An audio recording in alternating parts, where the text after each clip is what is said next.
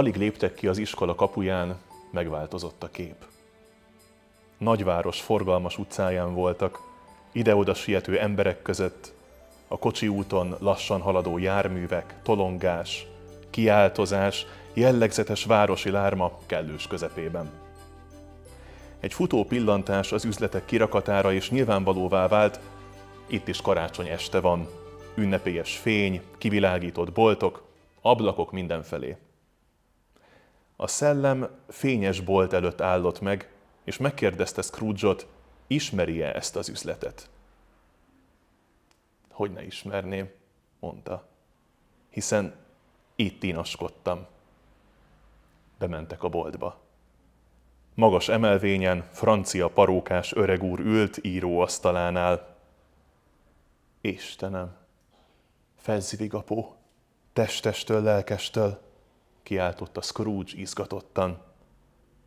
Fezzivig apu az órára pillantott. Pont hét óra volt. Elégedetten dörzsölte kezét, helyre ráncigált a félrehúzott mellényét. Most megszólalt, kedélyes, meleg, barátságos hangon. Hé, Ebenezár, Dick, gyertek csak ide! Scrooge egykori énje, karcsú fiatalember volt, s fürgén futott főnöke elé. Gyakornok társa Dick mindenütt nyomában. Nini, Dick, mondta Scrooge a szellemnek. Istenemre, legjobb barátom Dick, szegény jó Dick. Nos, fiúk, mondta Fedzivig, záróra. Záróra, mire vártok? Karácsony este van, fiacskáim. Oly egy-kettőre becsukjuk a boltot, azt sem mondjuk bikmak. Több se kellett a két fiatal embernek. Egy, kettő, már kim voltak az utcán. Három, négy, már helyükön voltak a keresztzárak. Öt, hat, szaporán fordultak az árban a kulcsok. Hét, nyolc, már ismét ott álltak a főnök előtt büszkén, hogy az még tízig sem számolhatott, és már minden a helyén volt. Megy ez, mint a karikacsapás, kiáltotta Fezzivigapó, és fürgén lefutott a magas emelvényről. Na most, gyorsan félre az útból mindent. Hely kell nekünk. Dick, gyorsan, gyorsan. Ebenezár, félre mindent. Ó, mit nem rakott volna félre a két fiú gazdája szavára. Pár perc alatt minden mozdítható a falnál volt. Meleg, fényes bálteremmé varázsolták a boltot. Már jött befelé a zenész is. Egy szál muzsikus, hegedűjét cincogtatva. Jött Fezzivigné asszonyság is, csupa mosolyábrázattal. Jött a három Fezzivig kisasszony is, üdén, kívánatosan, nyomukban a hat gavallérral, akiknek szívét rabul ejtették. Jöttek az összes alkalmazottak, fiúk és lányok, vidám csapatban. Jött a szobalány is, unoka barátjával, a pékkel. Jött a szakácsné földiével, a teljessel, Jött a kifutó a szemközti boltból, akiről úgy hír lett, hogy gazdája nem győz eleget enni adni neki. Jött a szomszédasszony szobalánya, akinek úrnője vörösre ráncigálta a fülét. Jöttek valamennyien, az egész utca, egyik a másik után, ki félénken, ki lopakodva, ki vonakodva, ki tolakodva. Húsz pár menten táncra perdült. A táncolók körbe keringőztek a termen mikor a zűrzavar és zenebon a tetőfokára hágott, az öreg fezzivig tapsal adott jelt a szünetre, de a párok vígan kurjongattak. Hogy volt, hogy volt? Aztán ismét tánc rogyásig, zálogosdi, hölgyválasz, majd megint tánc, majd sütemény szerecsenfánk hidegsült, főt sonka vegyes salátával, és sör. Annyi, amennyi csak belefért a sok szomjas torokba. Még javában állt a bál, amikor az óra tizenegyet ütött, és véget vetett a mulatságnak. Fezzivig és Fezzivigné az ajtóban állva mindenkitől melegkész szorítással búcsúzott, nem mulasztván el elmondani legjobb karácsonyi kívánságaikat külön-külön mindenkinek.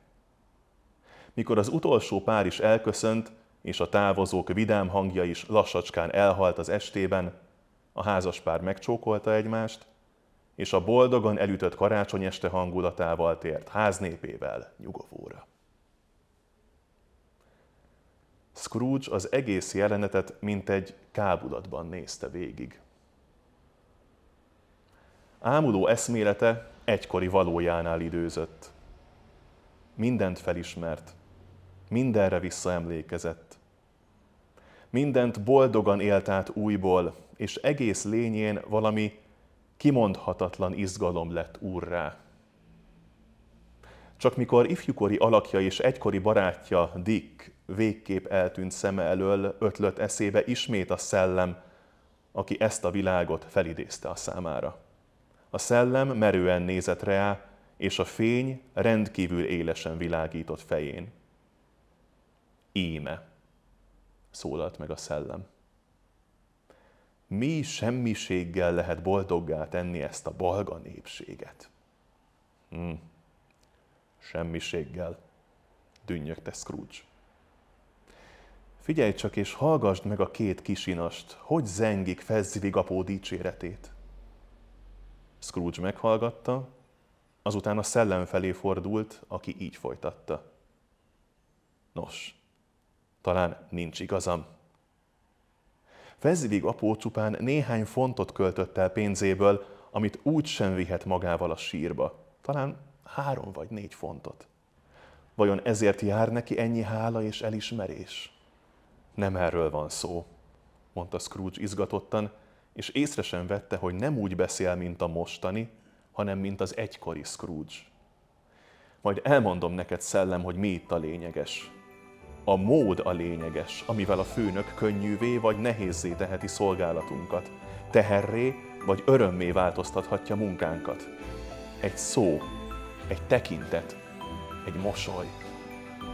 És mégis mennyire fontos mindez. A kellő pillanatban többet ér, mintha egész vagyonát osztaná ki közöttünk. Scrooge hirtelen elhallgatott, magán érezve a kísértet, kutató tekintetét. Van valami kívánságod? kérdezte a szellem. Ó, semmi különös, mondta Scrooge. De úgy látom, mégiscsak furdal valami, erősködött a szellem. Nos, hát, ha mindenképpen tudni akarod, nagyon szívesen váltanék egy-két szót a segédemmel, de most rögtön. Ez minden, amit szeretnék. Mi alatt ezt mondta, még látta az ifjú Scrooge-ot, amint eloltja az üzletben a lámpákat, azután ismét kint álltak a szellemmel kettesben, a hideg, sötét éjszakában.